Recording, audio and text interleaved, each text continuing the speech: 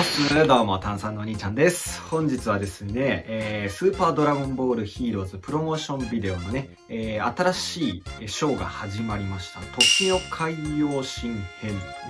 とで、えー、フューとの戦いが終わりまして、えー、新しく始まるショーですね。はい。まあ、そちらをちょっと、えー、軽くちょっと見ながら、感想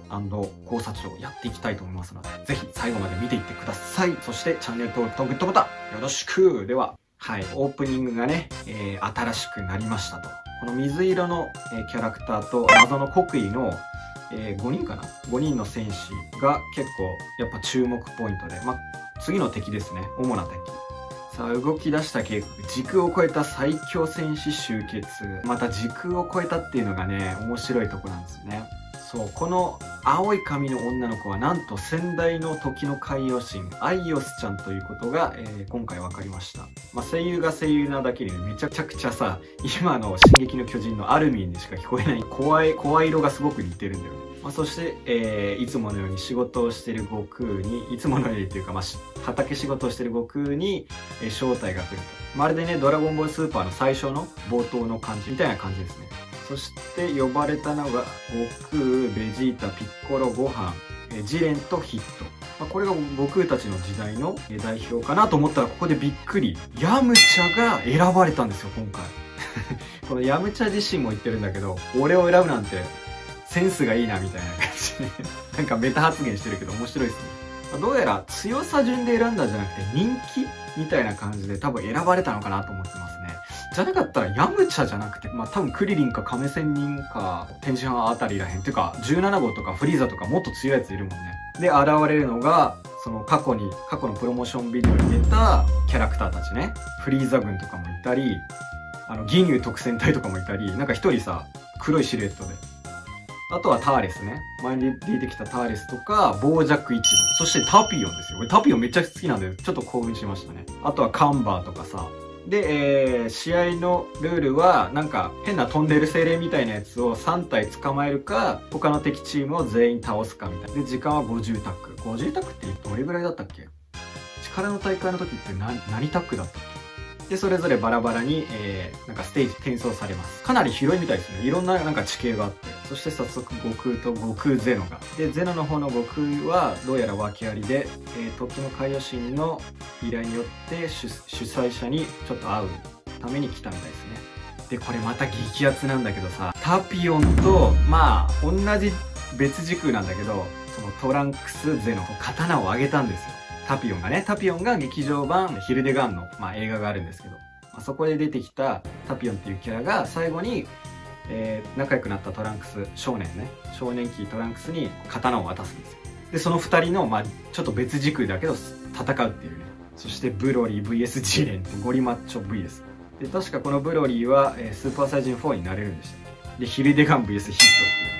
そして魔人ブー純粋役とジャネンバ。これまたこう面白い対決だよね。そしてヒーローズはなんかこの気団の仕方好きだよね。なんかこう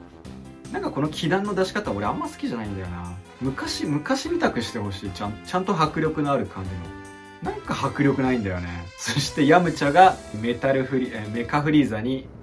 追いかけられるっていう面白い展開。まあそんな感じですごく面白いですね。なんかまるで、この「ドラゴンボール」の同人誌があるんですけどその同人誌の中の一つになんかちょっと似てるような展開のものがあってなんかいろんな別次元から別パラレルワールドから選手を呼び出してその大会をする同人誌があるんですけどまだ全部ちょっと見てないんですけどすごく面白くて、まあ、例えばその悟空がえー、ベジータたちの仲間になるパラレルワールドとかベジットになったまま話が進んだ、まあ、要はそのベジットでその魔人ブーを倒してそのままなんか合体が解けなかったパラレルワールドとかタピオンがいるパラレルワールドとか魔人ブーが全員やっつけちゃったパラレルワールドとかさセルが全員倒しちゃったパラレルワールドとか 面白いんですよ。すごく面白かったのが悟空たちがいなくてそのクリリンが、まあ、要は主人公みたいな立ち位置でその亀仙人のせあの甲羅を背負ってなんか出てるパラレルワールド。そしてなぜかヤムチャが人造人間になってるんですよ。面白くないですか？でビーデルも仲間になっててこのビーデルがなんと海洋圏とか使えたり、すごい面白い同人誌があるんですけど、それにちょっと似てるなと思いましたね。ここは悟空たちのドラゴンボールスーパーのと、あとはゼノっていう、まあ、ヒーローズのプロモーションビデオで新しく出てきたカンバーとか、ハーツとか、ドクター W とかが確かいて、あとはなんか、み、あの、ちょっと見ただけで、あの、バビリーチームとか、フリーザグとか、あの、ギニュー特戦隊とか、えっ、ー、と、まあ、ターレスとか、がいたりしましたね。まあ、ぶっちぎり多分強いのはこのスーパーの次元と、え、ゼノの次元。めちゃくちゃ 強いからね、このキャラクターたち。はい